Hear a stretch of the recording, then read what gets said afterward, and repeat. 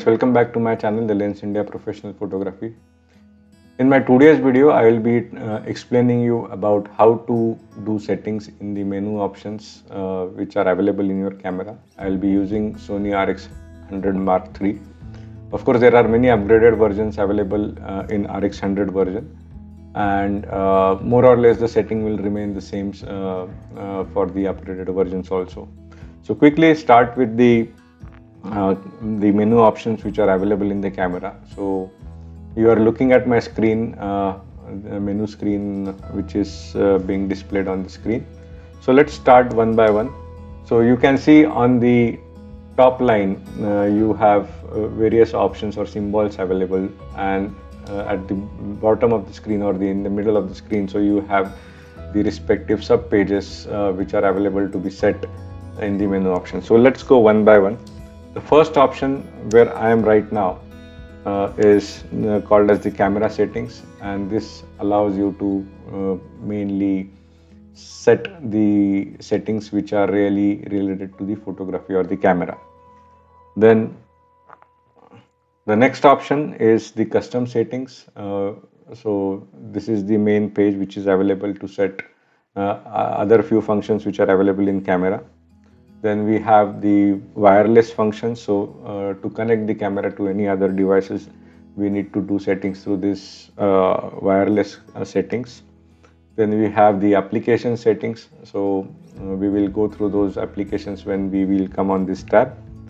Then the playback settings. So what are pictures we are capturing? So we can do the settings related to the playback uh, options. And the last is the setup menu. So which are uh, these uh, menus which are mainly related to the monitor brightness, audio signals, and etc. etc. So today uh, we will start with the first setting that is the camera settings. Of course, I am not going to cover everything in the one video. You know, we will make a series of these videos, and uh, in each video, I will try to cover the maximum uh, number of menu settings which are available but I don't since I don't want to make the videos uh, more lengthy so uh, I will be making the series of these videos. So quickly now we will uh, start the uh, options which are available in the camera settings. So the first page of the camera setting menu we have the uh, list of these uh, options which are available on the first page. That is the image size aspect ratio, quality, panorama size, uh, panorama direction and file format. So if you see the first option itself, image size is grayed out. Uh, so this is basically dependent on the other factors. Uh, so when we change the other settings in the camera, definitely this menu will be again enabled. So if I press the button, so uh, this says that this operation or the setting uh, is not available as follows and it gives me an indication that the quality is raw. So that what does it mean that when uh, my there is an option in the menu settings which is called as the quality and I have set this fact, uh, parameter as raw and that is why this option is disabled. So how do we do that? So now if you see this there is a quality option which is available over here and if I click here and if I change it to any other uh, options uh, apart from the raw or maybe let's see what happens when I select it to RAW and JPEG. Now you will see this option got enabled. And once this option is enabled, then you have the following options available in this uh, sub menu. That is the, uh, what type of uh, quality you want. That is the small quality where it will take a less memory in the uh, camera when you capture the picture. Then the another option is that medium, which is giving you the 10 megapixel quality. Then the third is 20 megapixel. So, so if we set it to 20 megapixel, then definitely the image quality will be very good. So there will be less compression in the image. But as far as I am concerned, I don't shoot anything in JPEG, and that, that's the reason I set it to RAW, and this is a disabled factor. Then the second uh, parameter which is available is the aspect ratio so what size of frame you want? So we have so many options like 3 as to 2 4 as to 3 16 as to 9 1 as to 1 so depending on your choice you can select the option. Uh, my practice is that i normally keep it to 3 as to 2 ratio. Then the quality the quality we have these four options as just now we have seen that we have raw raw plus jpeg extra fine fine and standard right? So uh, this extra fine fine and standard these are the jpeg versions. So extra fine is something where you get a, a high quality image. Fine is less superior than this and standard is again the lowest uh, quality which is available. Some people shoot uh, images in raw and jpeg as well. Uh, the reason is that jpeg images are easily transferable and can be seen on any other media and uh, the size is also very less as compared to the raw file. Uh, but my practice is i shoot only in raw to save the space because i don't do any editing. I don't transfer any jpeg images as it is to anyone uh, un unless i process the image. So i normally 99.99% of the time I keep the setting as raw.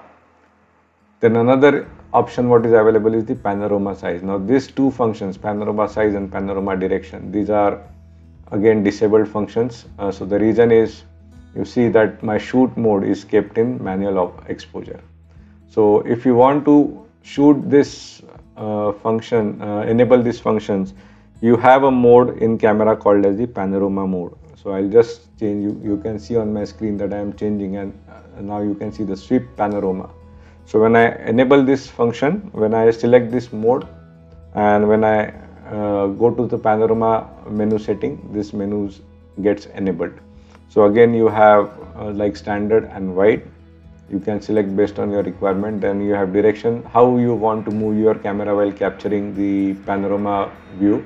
Whether you want to move from right to left down to up, left to right or uh, up to down. So you can select whatever is suitable during when uh, you, you are doing the shooting. So I'll again switch back to the manual mode and I'll press the menu. So this is how this uh, panorama setting is done. Then the last uh, parameter available on the page 1 is the file format so you have uh, three formats available XAVCS, AVCHD and MP4 so usually used format is MP4 while shooting the videos. So I am uh, normally keeping my setting on the MP4 this is about the first page. Then we move on to the second page uh, of the camera setting menus. So the second men, uh, page uh, gives you the settings or the parameters which are shown on the screen. So one is the record settings. So when we are, this is again as the symbol indicates, this is more related to the video and you have the following options available. So you can shoot two types, uh, you can set your camera on the uh, either of the settings. One is 1440 by 1080 which gives you a 12 megapixel video size and another is the VGA which gives you 3 megapixel video size. So if you want a better quality video and you don't want to compromise on the quality of the video, uh, normally 12 megapixel works best. Then, so my normal setting what I do is the 12 megapixel. Then again the second uh, menu option which is the dual video recorder is off and which is disabled right now. So if you see the file format I have set it to MP4 that is why this is disabled. So if I change it to any other format than MP4 this option will uh, get enabled. But I don't use this function so it's okay with me. Another thing is the drive mode so when you uh, select the uh, further options which are available so we have the single shooting menu we have continuous shooting menu then we have uh, speed priority continuous shooting menu then the self timer self timer you have options 2 seconds and 10 seconds. And then if you go to self timer continuous shooting so you have five shots taken in one go you have three shots taken in one go. So we have these two options available then we have the continuous bracketing uh, ranging from 0.3 uh, exposure value. So it can take three images. It can take five images. Then another thing is again the single bracketing which it, uh, which it, uh, is also available with the uh, 0.3 exposure values. So again three images and five images is the option available. Then white balance uh, bracketing. So it is having high low. So these are the two options available then uh, bracketing for uh, digital uh, sorry dynamic range optimization.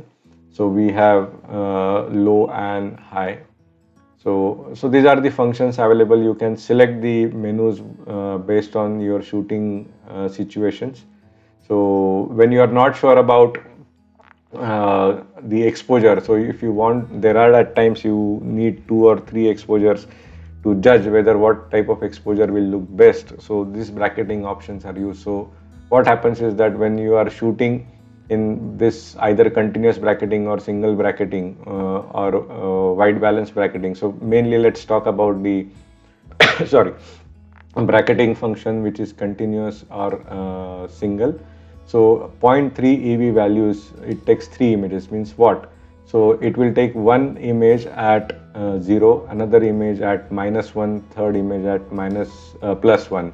So if you go to the uh, 5 images, so it will uh, take uh, so 5 images at every one third stop. So in the this case also when I'm, I was explaining that although just for understanding purpose, I explained 0, minus 1, plus 1, but uh, this uh, takes images every one third stop. Uh, so same is with the single setting. Uh, white balance uh, bracketing high and low. So these are related to whether you want a picture warmer or whether you want a picture cooler. So this is the setting. Uh, then dynamic range uh, optimizer bracketing, so high and low, as I said. So you might have heard the word HDR, high dynamic range images. So when per, this particularly applicable when we are shooting the object against light. So when the light is coming from the backside of the object, so it it takes multiple images so that uh, whatever is in shadow is also properly getting exposed and uh, the high dynamic range image is created. And the yeah and the uh, the above option is the timers when you want to use timers uh, before shooting. So if you are keeping uh, the camera on the tripod and uh, to avoid any shake in the camera you can set up these timers or even the uh, when we are taking group photos or something like this and there is no one else to take your own photo and you want to go and join the group. So this self timers are, can be used. Then uh, speed priority continuous mode is basically it will take uh, multiple frames at high speed rate. uh, and this is especially used when the object is moving. Again continuous shooting when uh, this is also used uh, when the object is moving but not that fast. You can use this continuous shooting frame. It will take multiple photographs uh, in a very short span of time. And single shooting is basically uh, something which uh, when the object is steady and is not moving you can use this single shooting mode. So normally i uh, my setting goes with the single shooting mode okay so uh, that's how it goes and then uh, I just sorry. Again i'm shifting it to the menu screen. Then again the flash mode. Flash mode is you have flash off auto fill flash, slow synchronization flash or rear curtain flash. Okay, so now since I'm in the uh, manual mode uh, and my flash is pressed down, so it is in the flash off mode uh, you can say. I have selected this flash off mode. I don't want the flash to pop up uh, unnecessarily. Uh, so this is one setting when you want, you can do it when you are shooting anything other than the manual mode then auto mode auto mode is disabled you can see as i said that my expo um, dial is set on the manual mode and uh, or manual exposure mode and that is why this function is off. Then this is the fill flash. So on this rx100 mark iii you have a very small flash uh, uh, uh, given in this camera. So when you feel that uh, there is a less light available on the object you can pop up this flash and you can shoot. But this flash is a very low power flash and works uh, good in the indoor situations and not in the outdoor situations. Then this is the slow synchronization speed. So uh, this is something but nothing but similar to the second curtain or the rear curtain that when we want to shoot on the lower shutter speed or slower shutter speeds uh, which is not the sync speed uh, exactly uh, and we want to capture the ambience light. So uh, this low sync speed can be used and the another function is the rear sync so this is the exactly second curtain or the rear curtain what we can say. So usually I keep it on the fill flash uh, so that I can capture the sharp images. The next is the flash compensation. Uh, so whenever we are using the pop-up flash so uh, whether you want that flash uh, to uh, take the pictures on the brighter side or to the darker side so the setting is available. You can uh, do the setting with the one third stop increment or decrements uh, to plus 3 to minus 3 uh, usually i don't do anything over here and i keep it uh, as 0 again uh, moving to the uh, last option of this second page that is the red eye reduction.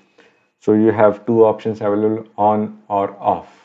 So i have kept it to on so that whenever we are using the flash it will first fire a beam of light uh, before it takes actual picture which will help you to reduce the red eye which is a usual uh, issue which is faced in uh, doing a while doing a flash photography.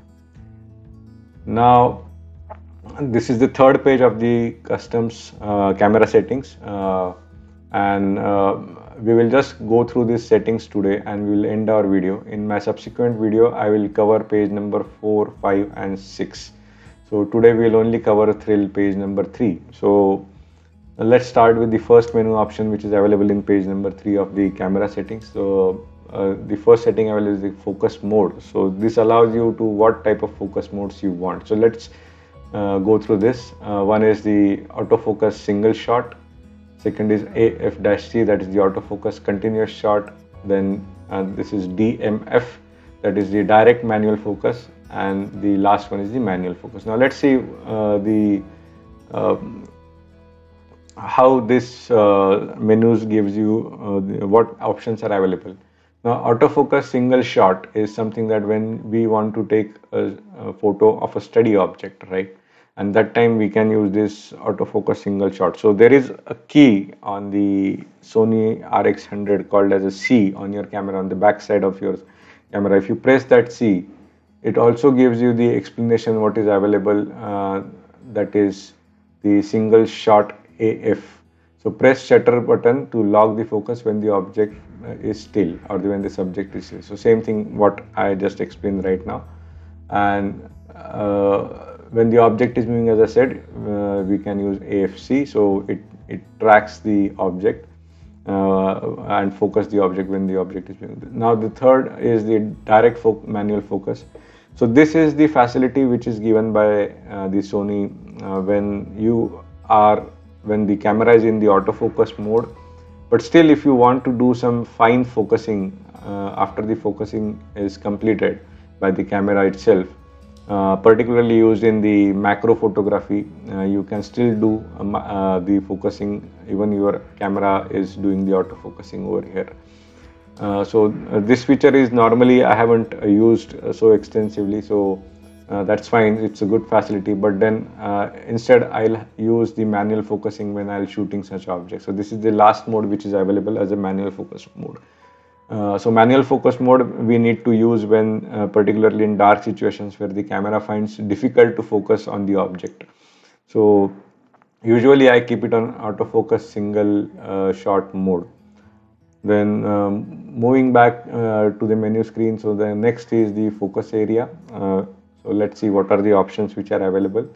So we have wide focusing range, we have the center focusing range, we have the flexible single spot, then uh, the lock-on uh, autofocus flexible single spot.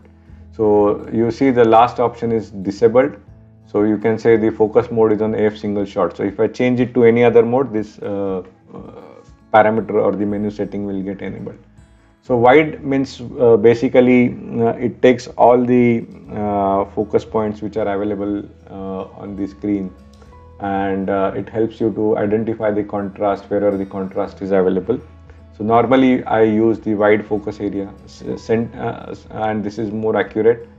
Then center, uh, the uh, focus point comes to center uh, and uh, uh, it will only focus on the objects which are basically in the center. If you look at this, focuses on the subject in the center area of the screen automatically. Okay, so uh, whether uh, you are intending to uh, keep that object in the center in focus or not, so this will automatically uh, take the focus point as the center point and it will do the focusing on the object in the center. Then in flexible spot uh, that is the S and we have M. So uh, so automatically focuses on the selected area. Uh, the size of the uh, area is M okay? So that is the middle or the small uh, medium or the small uh, so usually as I said I normally keep it as a wide because I would like to see the contrast in the overall scene then the autofocus illuminator uh, so let's see what are the options which are available here. So we have auto and off. So auto is something that when the camera is uh, not able to uh, see the object or particularly in the dark situations, when camera finds uh, difficult to focus on object, so it will throw a beam of light, small beam of light on the object which helps uh, camera to focus. So uh, this is why I always keep it on auto so that whenever there is a less light uh, the camera will be uh, able to focus in the autofocus mode. Then the next parameter is the exposure compensation compensation. This is disabled in my case right now the reason is because uh, I am not shooting uh, in the ISO, auto mode right? So when you uh, change your ISO setting to the auto mode so this factor will get enabled. But I normally use at uh, shoot at ISO 100 because I want optimal good quality pictures. So if you see the uh, second last parameter ISO I have set it to 100 and the options which are available is the ISO auto but you can see that ISO auto is currently uh, disabled in my case. Then ISO uh, auto here uh, is auto. So I have not kept it to ISO auto. Then I have ISO 80 100 uh, and so on and so forth. And it goes to 8000 10000 12000 so the last setting which is available is 12800 so my practice is that i shoot all my images at iso 100 uh, 95% of the time okay? Uh, because i would like i would like to have a good quality pictures without noise. So iso 100 gives you optimal quality. So that's how I have set the camera. Then the last option which is available on the uh, page 3 is the ND filter. ND filter is uh, basically a filter which is used uh, by and large when we are shooting the landscape. So this is the inbuilt filter which camera is giving you. So we have uh, three settings auto. So since my exposure is in manual mode uh, this will not allow me to uh, select this parameter. But definitely I can make it on uh, whenever I required. So when I'm shooting landscapes, when uh, or uh, particularly when I'm shooting the moving objects and I want to give the sense of motion to those objects, so I need to reduce my shutter speed. Uh, uh, when the light is bright. But because the ND filter is not available uh, usually so it becomes difficult to control the exposure that times in a very bright light situation this ND filter uh, almost reduces your exposure to the four stops. And that is how I can reduce my shutter speed. So whenever it is required I'll make it on but usually I keep it off so that's it for today so we have covered till page 3 and in our next session uh, we will uh, cover uh, page 4 5 uh, 6 and 7 in one go and then uh, subsequently we will make a series of videos on the other menu options so thank you so much. If you feel that uh, this session or this video was helpful, please do hit a like and share this video with your friends. And if you have not subscribed to my channel, please uh, subscribe my channel and hit the bell icon. Thank you so much. Bye bye.